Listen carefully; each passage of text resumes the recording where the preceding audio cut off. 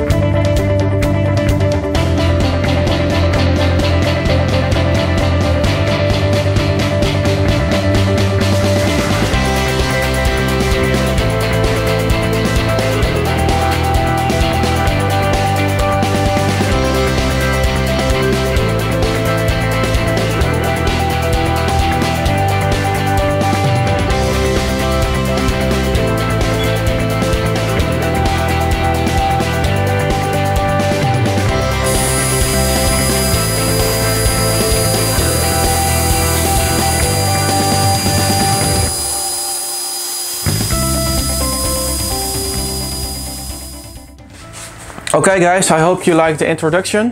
Uh, in this video I'm happy to announce that we are going to build a new F-35 model. Um, what you saw in the video that we are using, and like most of you already know, we are using 120mm fans of uh, Vasa. These EDFs are, uh, yeah, we are using this for almost two years now and these days those 90mm EDFs are quite powerful as well and they are very lightweight. So what we are going to do, we're going to build the next F-35 model suited with 90mm EDFs. Uh, we're also going back, instead of a 12S setup, we're going back to a 6S setup. Uh, all this because of weight reduction. In the next video series we're going to make a full carbon fiber F-35 1 to 10 scale and let's see if it flies. Okay, we have our Kestrel model. It's suited with 3 BSM. Uh, we have fly already for almost uh, 30 flights with to test the swiveling maneuver of the 3 BSM. Um, also the KK2 board is uh, fully configured in this model. Um, it's, it's quite good fine-tuned already.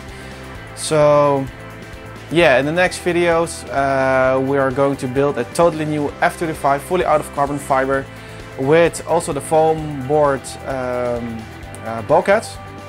I'm going to laser cut them, print parts, so I would say hang around. Please subscribe if you are new to the channel, it will change our lives. It's free and uh, I, really, really dream of this first 100,000 subscribers.